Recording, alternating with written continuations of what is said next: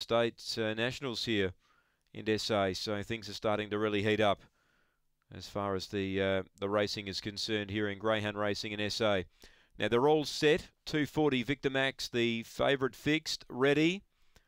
Racing, jump well, Victor Max. Go Brandy uh, began just as well and pushes through, but holding them all early. Blackpool Donny.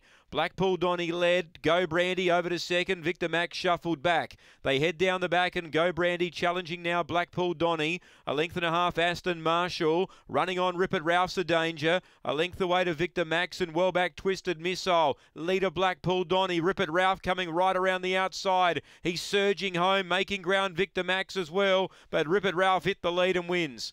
Uh, Blackpool Donny second, Victor Max third, Photo fourth, Go Brandy or Aston Marshall. Last time Twisted Missile. Time is around 30 and 20. Number four, Ripper Ralph, one of the best supported runners, was looping the field and made his run at the right time, has ran them down to win and run 30 and 22. One Blackpool Donny second.